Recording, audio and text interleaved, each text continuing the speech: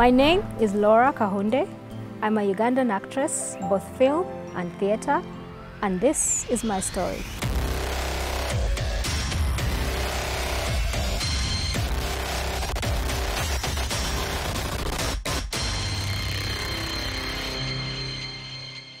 I did a lot of singing in school and not much of the acting. I think everyone perceived me as a singer because of my sister. But uh, if I was asked to choose, I think I would pick acting first. So I joined uh, around 2009, 2010. I was uh, transitioning from uh, senior six to university. And my first project was um, Hearts in Pieces with Mariam Ndagire, who were the pioneers of her now Mariam Ndagire Film and Performing Arts Center. So she trained me, she did a lot. I went ahead and worked with Matt Bish. Uh, I've worked with uh, John Segawa and um, John Segawa is the person who has trained me as far as uh, uh theatre is concerned. So it, it posed a bit of a challenge, but uh, he was patient with me. He taught me a lot. And now I think I'm getting more comfortable with doing both. And what I love about theatre is it's raw, it's real, you, you, you can't fake anything. Once you stand on stage, you have to deliver.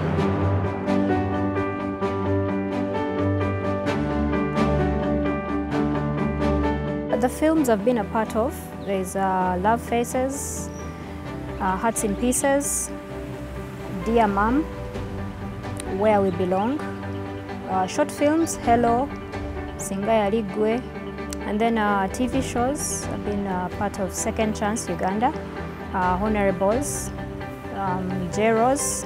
And then for stage, I've been a part of uh, Tears of the Sun with Obsessions, Sebalamu Tebesigwa, uh, Zansanze, Cry My Village Baby.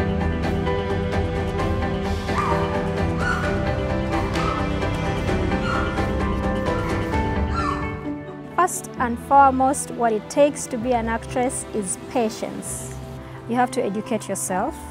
You have to find other skills that you can do. The biggest challenge is uh, the film industry is not yet paying actors as they deserve.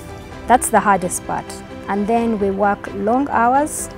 Most actors don't drive, so they are unsafe out there.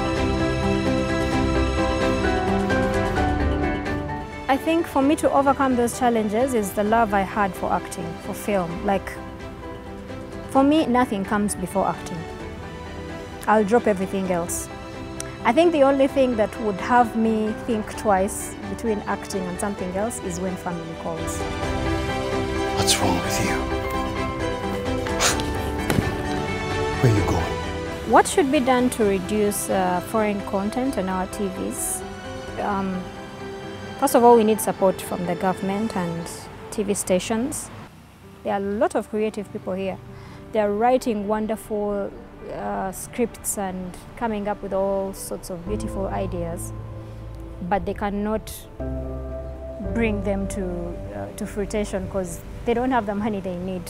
And also, uh, the other way they can, the government can help us is the content that is coming in from out there should be reduced. That's clear. Sorry. Very clear. Where are my car keys? They're here. If you are a young creative and you want to get into this industry, you need to have patience. You need to have discipline. You will be a good actor, you will have all the skills, you have the best talent. But if you're going to disturb people on set, they're not going to hire you. They would rather take someone who has a bit of talent and train them because if someone has a bit of talent, they can be trained. Some of us are surviving because we love what we do. Like everything else is not going right, but when the cameras roll, all that is history. It's, it's, it's your time to, you know, give your best.